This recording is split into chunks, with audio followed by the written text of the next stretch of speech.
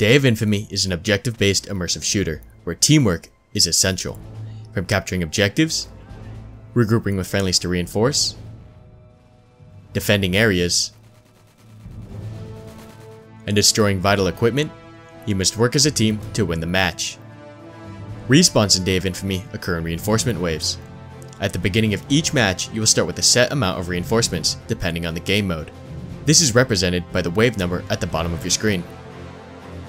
When you die, a timer will appear at the bottom center of your screen, notifying when the next reinforcement wave will occur. Once the timer reaches zero, you and any other dead teammates will respawn as a group. When your team runs out of waves, reinforcements will be exhausted and your team will no longer have any respawns. To reinforce your team, capture, regroup, or complete objectives. Watch my back! I'm point captured!